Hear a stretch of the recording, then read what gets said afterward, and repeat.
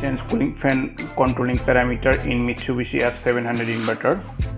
So press mode button and by jog dial we enter into the parameter number P244